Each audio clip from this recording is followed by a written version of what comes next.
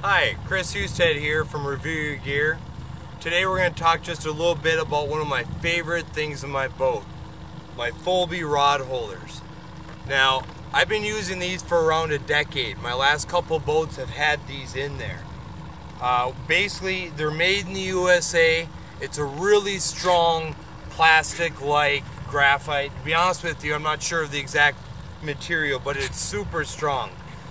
I've, I've seen it take 50 plus inch muskie hits, no problem. The key to these rod holders is the simplicity of them.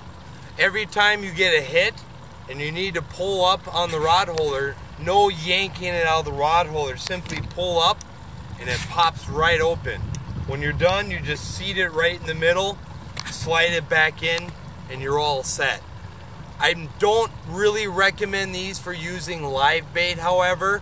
It, they tend to stick, and when you have newbies in your boat especially, you're gonna hate life. So it's a good idea to use a different brand, uh, and there's lots of great brands that are simple pull-out style rod holders. Again, I'm Chris Houston, and that's your, your gear tip.